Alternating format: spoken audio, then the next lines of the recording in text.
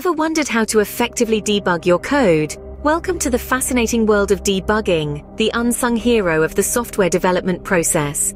Debugging is the art of identifying, isolating, and fixing those pesky defects that often pop up in our code. It's like being a detective, searching for clues, following leads, and finally, solving the mystery of why the code isn't behaving as expected. The importance of this practice can't be overstated. Debugging not only ensures code quality and software reliability, but it also reduces development time significantly. Throughout this video, we'll explore various debugging practices, from understanding the problem at hand, using version control, and leveraging debugging tools, to the strategic placement of breakpoints, the divide and conquer method, and much more. Each of these practices has its own role to play in making debugging a systematic and efficient process. Embarking on this journey will transform your debugging skills and make you a more efficient developer. The first step in effective debugging is understanding the problem at hand. Before you start sifting through lines of code, it's crucial to grasp the issue reported fully. Take a moment to reproduce the problem, if possible. This will give you a better understanding of its scope and impact. Now, let's talk about version control. Think of it as a failsafe for your code base. It's like a time machine that allows you to track changes and, if necessary, revert to a previous version. This can be incredibly useful when you're trying to identify when a particular issue was introduced into your code. Version control systems like Git are an integral part of any developer's toolkit. They provide a safety net and chronology, enabling you to go back in time and pinpoint when things took a turn for the worse. So always try to reproduce the issue and ensure your codebase is under version control. Now that we have a firm grip on our problem, it's time to arm ourselves with the right tools. Debugging tools provided by your development environment or integrated development environment, IDE, are your best friends in this process. These tools include breakpoints, watch lists, variable inspection, and stack traces. Breakpoints are particularly potent. They allow you to pause execution of your code right at the point where you suspect the issue may be hiding. By doing so, you can inspect variables and the overall state of your program at that particular moment. Setting breakpoints strategically can be an art in itself. Aim for spots in your code that are closely related to the problem at hand. Breakpoints can be set at the start of a problematic function or right before a critical calculation or operation. Familiarizing yourself with these tools and utilizing breakpoints can dramatically increase your debugging efficiency. When faced with a complex issue, breaking it down can make it more manageable. This is the essence of the divide and conquer strategy in debugging. When you're dealing with a perplexing bug, it's like trying to solve a massive jigsaw puzzle. But what if you could simplify that puzzle? That's where divide and conquer comes in. Imagine breaking down your problem into smaller, more digestible parts. Each part becomes a mini puzzle of its own, and solving each one can get you closer to understanding the bigger picture. By isolating and testing each part, you can more effectively zero in on the root cause of the problem. You're not just tackling the issue head on, you're strategically dissecting it, piece by piece. This approach can save you time and frustration by avoiding a wild goose chase in your code. It's all about efficiency and precision. So, remember, a big problem is just a collection of smaller issues that can be solved individually. Moving on, let's focus on our data and peers.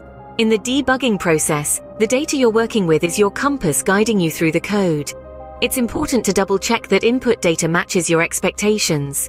If the inputs are off, the outputs won't make sense, leading you on a wild goose chase. Similarly, verify that your output data is being generated as expected. If it's not, you've found your bug, or at least a part of it. Now, let's turn to the invaluable practice of code reviews. Imagine having a fresh pair of eyes, unburdened by the hours you've spent staring at the same lines of code. That's what your peers bring to the table. They can spot issues, suggest improvements, and provide different perspectives on the problem. Remember, debugging isn't a solitary journey. It's a collaborative effort that benefits from diverse insights. Never underestimate the power of a second pair of eyes or the clarity that comes from examining your data. Next, we focus on the power of assertions, incremental changes, and analyzing logs. Let's start with assertions. Assertions are our code's safety net, our built-in alarm system, they validate our assumptions during runtime, alerting us when something unexpected happens. Imagine you're developing a function that only processes positive integers. You can insert an assertion at the start of this function to check if the input is indeed positive. If it's not, the assertion will fail and you'll be notified. This way you're not left scratching your head when your function behaves strangely because it received an unexpected input. Moving on, let's talk about incremental changes and testing. When debugging, it's easy to fall into the trap of making extensive changes all at once, hoping to solve the issue in one fell swoop. However, this often complicates matters. Instead, adopt a divide and conquer approach. Make small changes to your code and test them incrementally. This way, you maintain control over your debugging process, and it becomes easier to pinpoint where things are going wrong. Last, but certainly not least, are logs. Logs are like the black box of an airplane. They record the events leading up to an issue. Your logs can include error messages, stack traces, or even information you've chosen to record using print statements.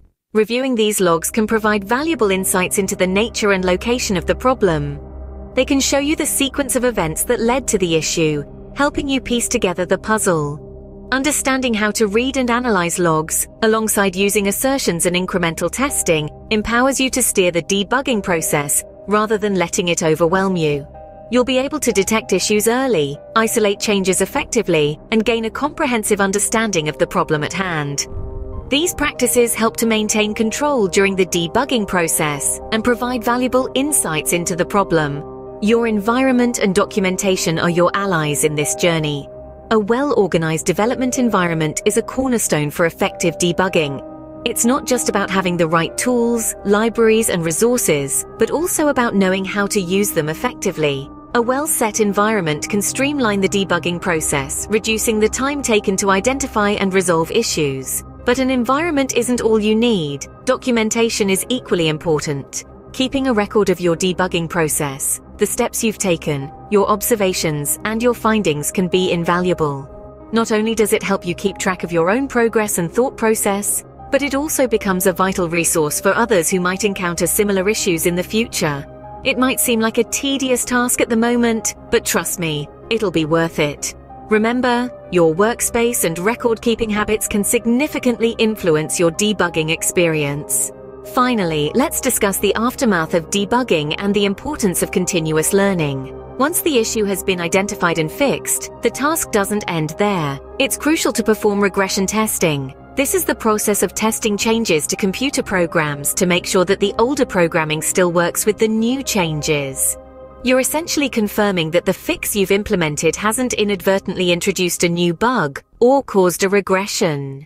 It's like making sure that fixing a leak in one pipe hasn't caused another to burst.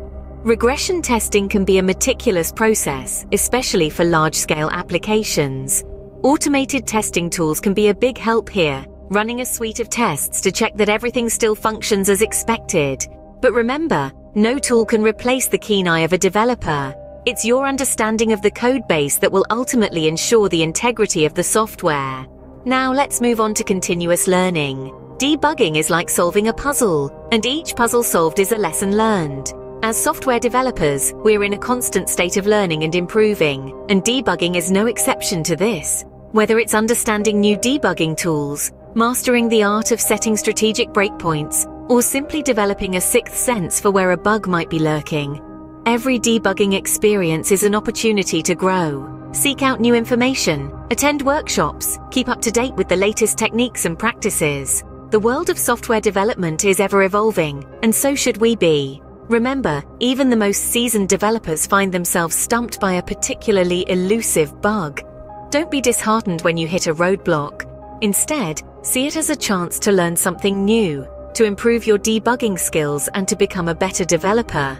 By adopting these practices, you can become a more efficient and effective debugger, always ready to tackle the next challenge.